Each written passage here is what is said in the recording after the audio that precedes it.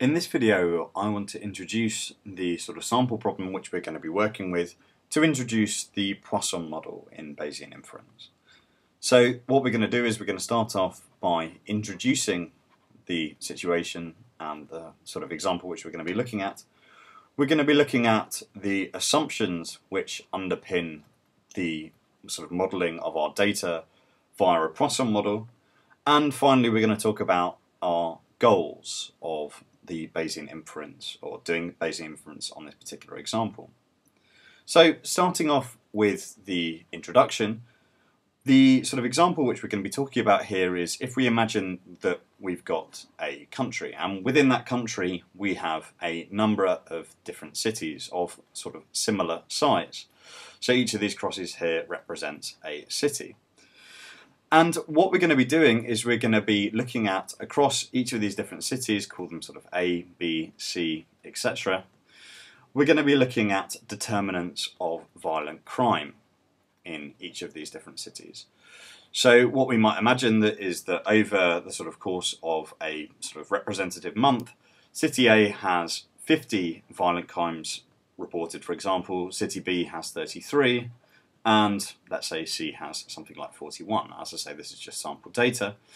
But obviously, this situation here is sort of count data. There's no way that this can be non-negative, and there's no way that it can take on a non-integer value.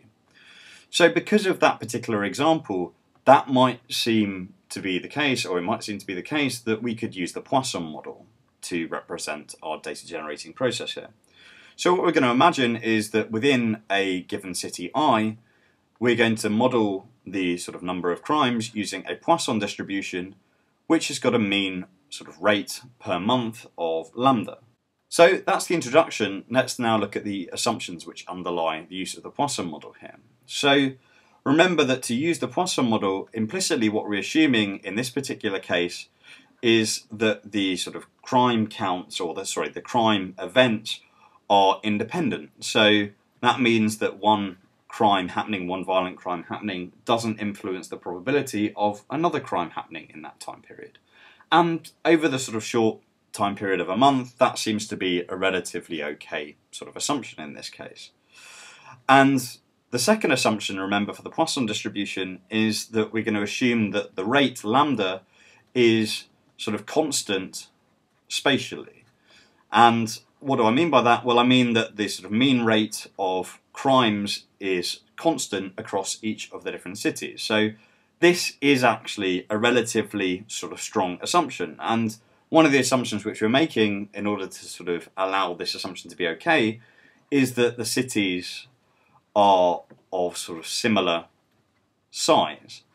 And we might also like to assume that they've got similar sorts of characteristics. So perhaps they've got similar levels of unemployment. Perhaps the demographics are similar in the cities because any of those differences we might, in which case, sort of question whether it is okay to model the situation assuming that lambda is constant across the different cities. And actually, later on, we're going to uh, relax this assumption and we're going to introduce a sort of Poisson regression model. But for now, we're going to assume that lambda is constant spatially. Finally, let's talk about the goals of doing Bayesian inference in this particular circumstance. Well, typically, one of the things which we get as an output for Bayesian inference is the posterior distribution of lambda.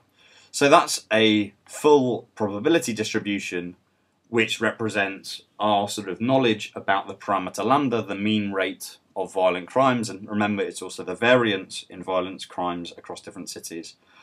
And it represents all of our sort of data and pre-experimental knowledge on that particular parameter. So that's one of the goals.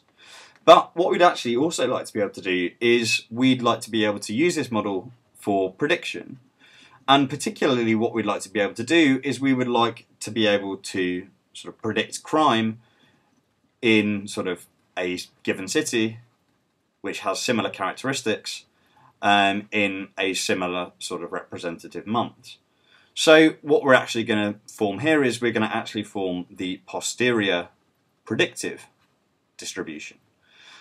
And that sort of illustrates which sort of levels of crime we think are most likely given our data and our pre-experimental knowledge. And what we're actually going to do is we're going to contrast that with the prior predictive distribution, which is before we actually get the data, what would we expect the crime rate to be in a given city?